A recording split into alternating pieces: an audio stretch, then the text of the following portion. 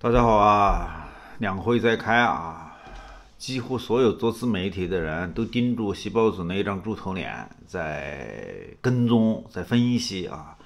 其中有一个比较给力的一个说法啊，说这个细胞子说话的腔调啊，那个做派有点像黑社会的老大。嗯，表面看起来啊，这样的观察、这样的分析、这样的总结是不错的啊。但是我个人认为呢，不太像。像什么呢？像一泼妇。泼妇是什么意思呢？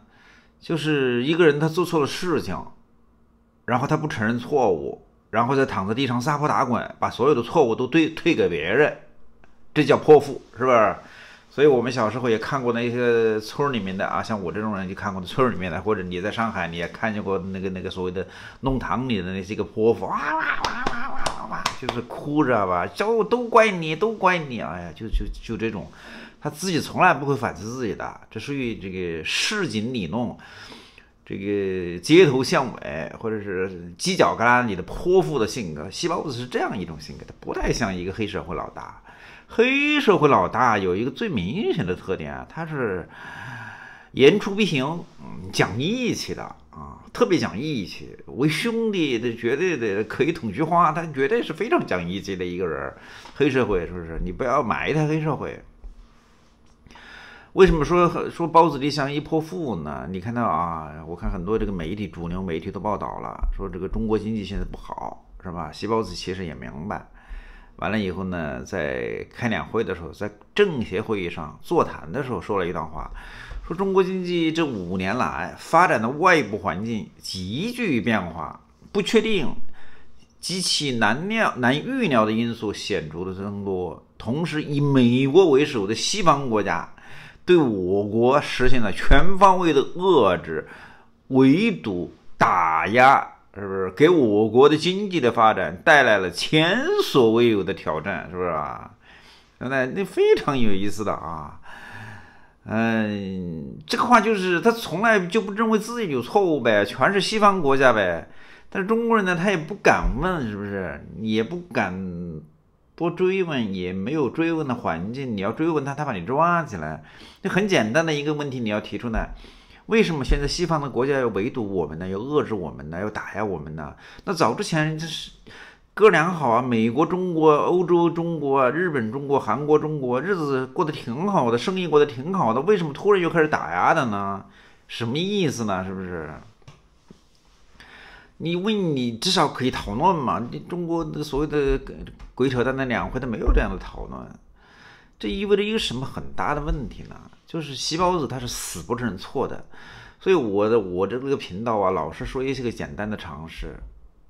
你比如说，我写了十本书《沉思录》，最后一本书叫《我们怎样认识自己》。我这个人从二十几年前写了一本书叫《我们怎样阅读中国》，到二十几年后我写了一本书叫《我们怎样认识自己》。其实我标志着我的生命的一个巨大的变化。真的，你包括这些国际事务也是一样的。你遇到这种事情，你最终最有效的是什么呢？就是你要把问题的追问的方向，你要指向自己。为什么呢？因为任何事情，他一个巴掌拍不响。我就用最通俗的话跟大家解释，是不是？不需要讲那些个理论不理论的啊，不需要讲什么比较优势啊，什么国际合作啊，什么价值公民呢？不想这些个破知识分子词儿，你就一个巴掌拍不响。就是过去美国西方赚中国的钱赚的不要不要的，他已经赚成个路径依赖了，是不是？这是个知识分子词儿，为什么突然就不想赚了呢？为什么突然要围堵你要打压你呢？肯定是有原因的，肯定你中国有什么事儿做的不对。这个时候，就第二位的原因或者第二位的问题你要提出来。说我们是不是做错什么事情了？我们能不能坐下来反思一下？是不是？为什么呢？因为你把所有的问题都推给对方，但是你又没有办法改变对方。这个时候，有效的方法就是问自己，而不是去问别人。因为你问别人没用啊！中国跟美国吵架，你去骂美国没用，美国他不会变。两口子也是一样的，是不是？丈夫和妻子吵架，完了以后做丈夫呢，就自己不反思自己，完了把所有的家庭这个所有的麻烦的责任都归给自己老婆。我他妈的就是倒霉，是不是？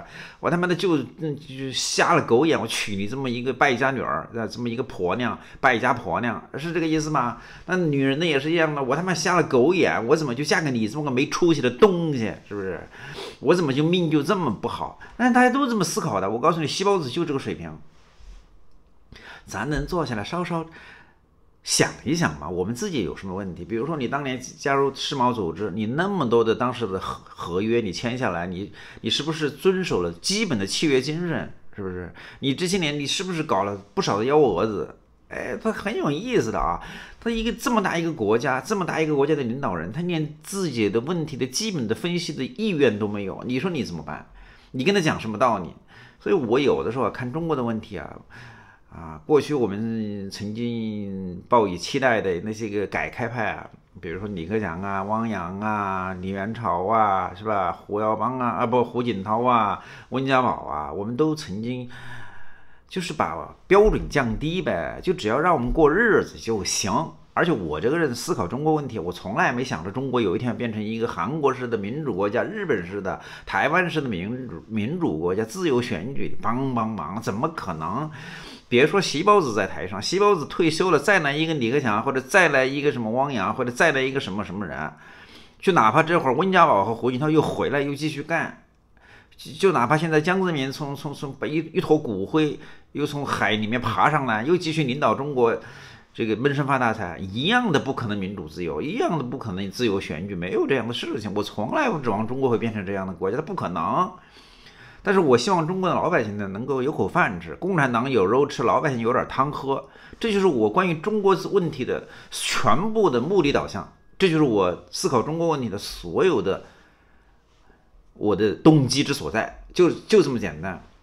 所以你想想，你这个国家经济搞成这样，你把所有的责任都推给所谓的什么什么西方国家，美国为首的西方国家对我国进行了全方位的遏制、围堵、打压，这怎么得了？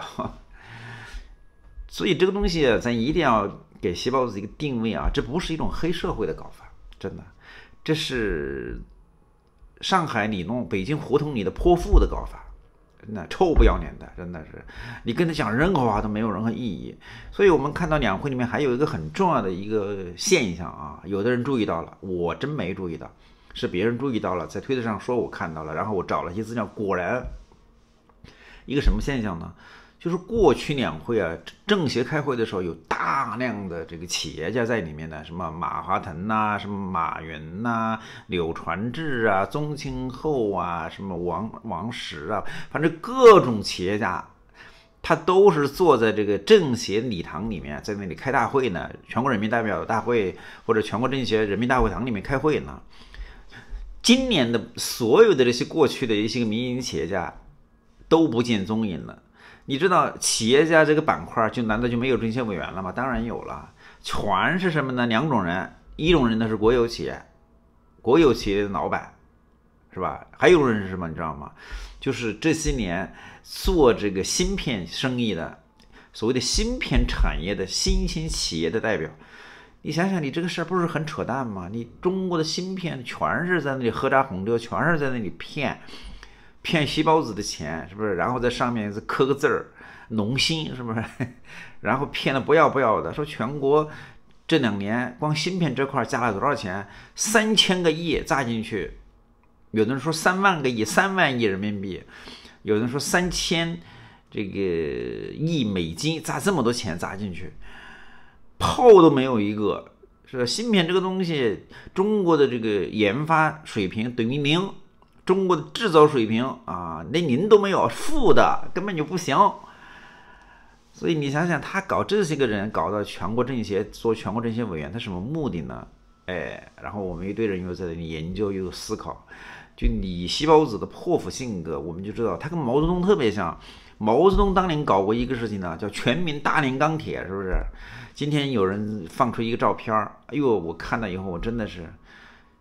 真的是笑掉我的大牙！说当年宋美龄，呃，宋庆龄，嗯，这个胸大无脑这个老老女人啊，那一年六十五岁，她都跑到这个村里面去跟农民一起大炼钢铁，在那里看这个钢水在那里熊熊的在那里燃烧，在那里跟农民工在一起，在那在在在打铁呢。你知道他当年他为什么要搞大炼钢铁吗？因为全世界都围堵中国嘛，共中国共产主义邪恶的政权嘛，红色政权嘛。那个时候毛泽东特别想打仗嘛，是不是？打仗就需要那个时候不像现在什么核武器啊，是吧？那个时候需要什么？需要钢铁，钢铁干嘛？飞机大炮啊，造大炮啊，造飞机啊，飞机造不出来，至少可以造大炮啊，是不是？造枪啊，都需要钢铁的。中国的钢铁产量不足啊，没有啊，造枪炮造不出来啊，所以全民大炼钢铁。你说大炼钢铁的目的是什么？是为了打仗。那今天的情况也是一样的。习包子连刘贺都说了啊，我们要举国之力，要发展中国的芯片产业。你说这个东西它怎么可能是举国之力呢？是不是？这是我们的前两前两天的批评方式啊！说你他妈的违背科学发展的一般的常识。现在看来没那么简单。细胞子在全国政协上面用了那么多的芯片公司的企业家，一群他妈的骗子，是不是？他为什么要搞这个东西呢？所以我们认为呢，接下来中国一定会全民全国掀起一个大干芯片的这么一个经济活动、经济运动。就像当年毛泽东搞大炼钢铁一样的，大炼钢铁的目的是为了打仗，造造大炮，造坦克，是不是？那大造这个芯片是为了什么呢？是为了打核大战呢？今天的军事工业，你如果没有芯片，你所有的东西都是个聋子耳朵，一个摆设，是吧？你大炮，你连导弹打不出去，需要芯片导航的；你飞机也飞不上去，需要芯片导航的，是不是？你你你你核武器更是了。你放个核武器上去，没有芯片，直接就掉下来砸在你细胞子的猪头上面了。所以你知道吗？今年开始肯定会兴起一个全民叫大炼芯片的这么一个愚蠢的运动。有一句说一句啊，你如果人在中国，你倒是可以用这个东西赚一点细胞子的钱，骗点政府的这个财政拨款，完了以后呢，再忽悠点儿，制造几个假情报、假消息、假新闻。说我们成功的制造出了多少多少英寸的啊，多少多少纳米的啊芯片，是不是？向习主席汇报，当年就是这样子的呀，是不是？我们炼出了钢铁，我们要把它送到北京去，向毛主席汇报。中国它就这么幼稚，幼稚就这么愚蠢，就这么搞笑。所以你怎么能说习包子是黑社会的老大呢？他是一个泼妇，正儿八经的泼妇性格呢。谢谢。